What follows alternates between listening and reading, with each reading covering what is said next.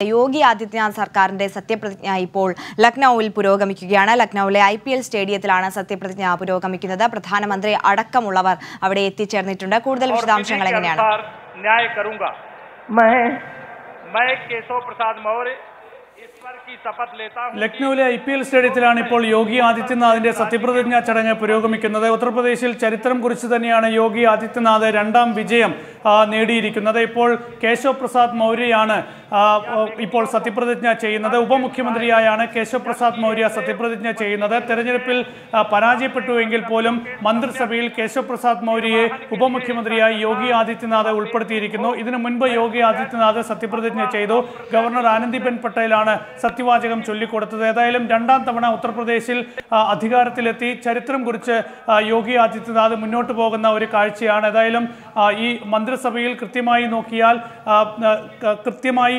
ഇതുവരെ മന്ത്രിമാരെ തിരഞ്ഞെടുത്ത് നോക്കിയാൽ ഓരോ സമുദായത്തിനും കൃത്യമായി വീതിച്ചു നൽകിയ തരത്തിലാണ് മന്ത്രിമാരെ തിരഞ്ഞെടുത്തിരിക്കുന്നത്. കേശവ് പ്രസാദ് മൗര്യയെ ഒ ബി സി വിഭാഗത്തിൽ നിന്ന് തിരഞ്ഞെടുത്തിരിക്കുന്നു.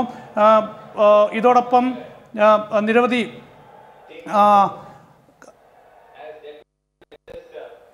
ഇപ്പോൾ പ്രധാനമന്ത്രി നരേന്ദ്രമോദിയൊപ്പം തന്നെ കേന്ദ്ര ആഭ്യന്തരമന്ത്രി അമിത്ഷാ കേന്ദ്ര പ്രതിരോധ മന്ത്രി രാജ്നാഥ് സിംഗ് സ്മൃതി ഇറാനി തുടങ്ങിയ കേന്ദ്രമന്ത്രിമാർ ഈ സത്യപ്രതിജ്ഞാ ചടങ്ങിൽ പങ്കെടുക്കുന്നുണ്ട്. കേന്ദ്രമന്ത്രി വി പ്രതിജ്ഞാ ചടങ്ങിൽ പങ്കെടുക്കാനായി എത്തിയിരിക്കുന്നു. അങ്ങനെ ഒരു വലിയ ചടങ്ങ് തന്നെയാണ് ഏതായാലും ഈ സത്യപ്രതിജ്ഞയ്ക്കായി ലക്നൌവിൽ ഒരുക്കിയിരിക്കുന്നത്. ഐ പി എൽ സ്റ്റേഡിയത്തിൽ നമുക്ക് ദൃശ്യങ്ങളിൽ കാണാൻ കഴിയും.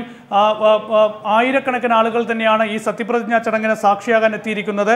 കേശവ് പ്രസാദ് മൗര്യയും അതുപോലെ തന്നെ ബ്രിജേഷ് പഥക്കുമാണ് ഉപമുഖ്യമന്ത്രി ഉപ മുഖ്യമന്ത്രിമാരായി വരുന്നത്.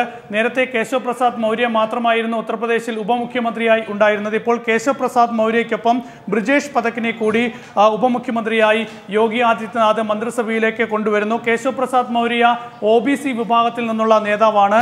അതേസമയം ബ്രിജേഷ് പതക്ക് ബ്രാഹ്മിൺ സമുദായത്തിൽ നിന്നുള്ള നേതാവാണ്. അതുകൊണ്ട് തന്നെ സാമുദായിക മത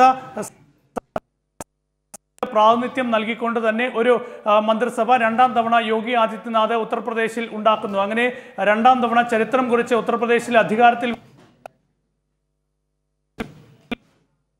മന്ത്രിസഭയിലും ഇപ്പോൾ